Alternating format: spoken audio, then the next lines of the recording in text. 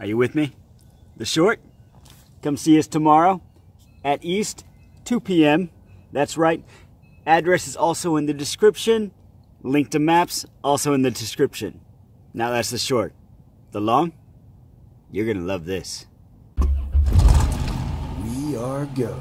In three, two, wait, wait, wait. I forgot something. Mark Mandel happens to be the first person I actually met when I came into Austin.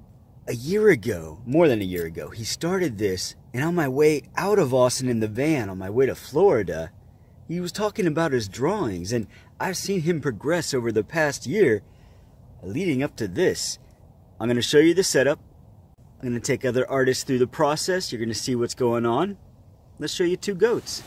I realize that I haven't actually shown many of you Goats Pottery, which is one of the many beautiful and creative houses in East Austin.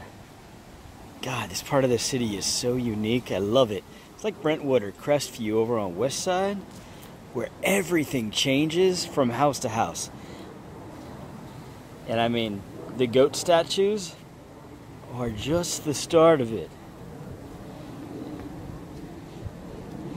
The back right is actually a B&B, which is hosted here. Everything's still getting ready for tomorrow.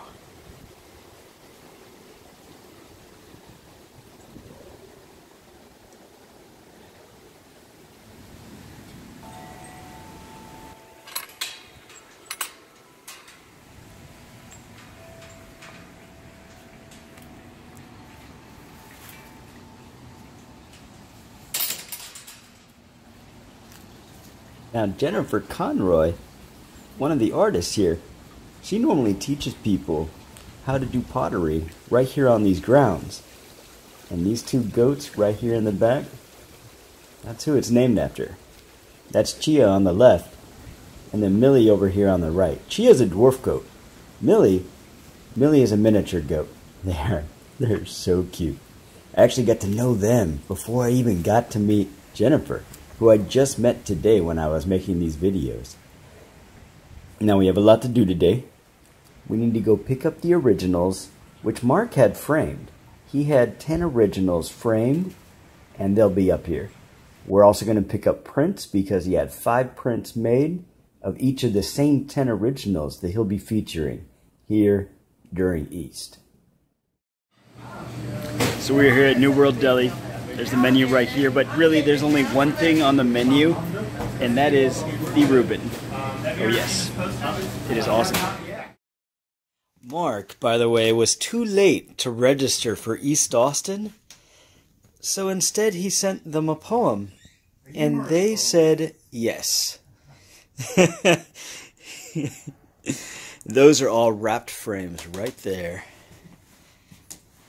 And this is the workstation where the magic happens right here. Colors and inspiration. Now we're going to unwrap those because tomorrow it's going to be time to hang them up. They have all been unwrapped and they're all framed for posterity's purpose. It cost about a thousand four hundred dollars for the framing and the museum gallery quality glass.